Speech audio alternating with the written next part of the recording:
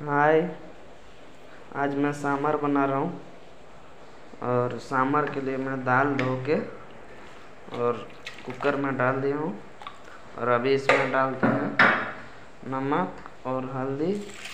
मतलब दोनों भी डाला। नमक भी डाला और हल्दी भी डाल दिया। अब इसका ढक्कन लगा के और सीटी लगा देंगे।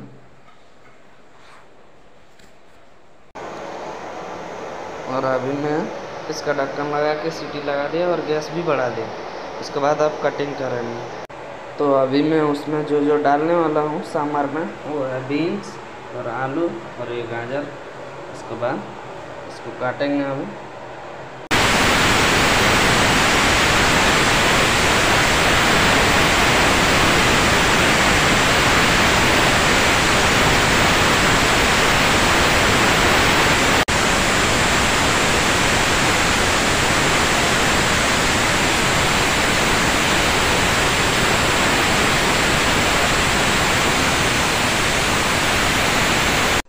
अभी मैं कटिंग कर ली हूँ कैरेट आलू बीन्स ये मैं प्याज काट लिया हूँ और ये सूखा मिर्ची है, जो कि तड़का में लगाने का है और बहुत लेट हो गया। फटाफट स्टार्ट करते हैं। सरसों, जीरा और मिर्ची सूखा प्याज पूरा डाल दिया और कड़ी पत्ता डाल दिया और ये रहा कड़ी पत्ता डाल दिया। और अभी थोड़ा सा मिलाएँ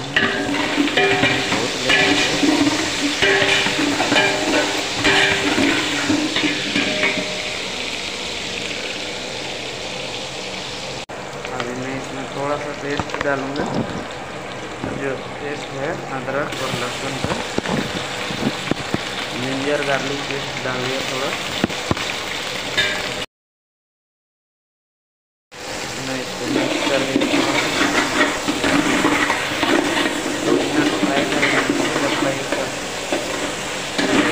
इसका बास आता है। तो तब तक जब तक जाएगा तब तक फ्राई करेंगे। इसके बाद इसका जो वेजिटेबल है, वो डाल देंगे। इसका वेजिटेबल मैं धो के रखा था और अभी इसमें डाल हूँ और इसको मिला देते हैं। उसके बाद डालेंगे थोड़ा सा टमाटर। लगभग एक से हाफ़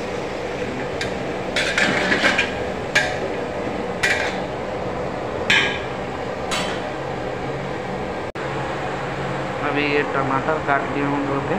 और इसमें डाल हूँ थोड़ा सा नमक और हल्दी डालेंगे। अभी मैं इसमें नमक और हल्दी थोड़ा डाल दिया। ज़्यादा नमक नहीं डाला। क्योंकि दाल में भी डाला हूँ। फिर ज़्यादा हो जाएगा। अब इसको मिक्स कर देंगे। अभी मैं इसका ऊपर प्लेट लगा के रखा हूँ।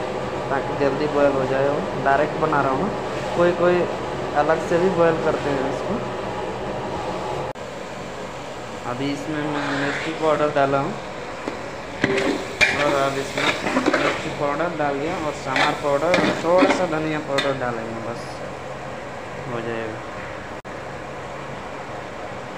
मिर्ची पाउडर डालने के बाद थोड़ा धनिया पाउडर और सांभर पाउडर। अभी मैं सांभर पाउडर और धनिया पाउडर दोनों डाल दिया इसमें।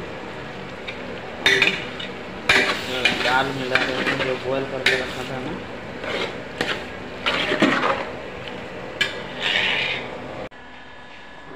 अभी वो जो दाल में बॉयल करके रखा था, वो डाल दिया इसमें। और अब इसमें पानी डालेंगे और बॉयल करेंगे बस।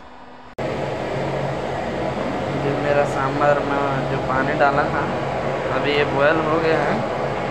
अब इसको एक से दो मिनट में बंद कर देंगे। सामान रेडी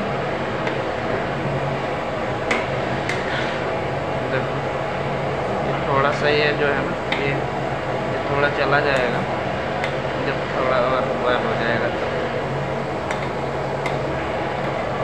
अब मैं गैस थोड़ा स्लो कर देता हूँ।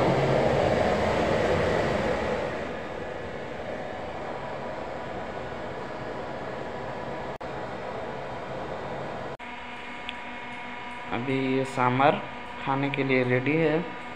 मैं दूसरा बर्तन में निकाल लिया हूँ, छोटा बर्तन में, और काफ़ी टेस्टी है। और मैंने ये सांभर इडली के लिए बनाया, और ये थोड़ा सा धनिया पत्ता इसमें डाल दिया टेस्ट बढ़ने के लिए। और आप लोग को कैसा लगा ये सांभर बताना, अगर हो सके। घर में बनाना है तो ट्राई करना। Bye bye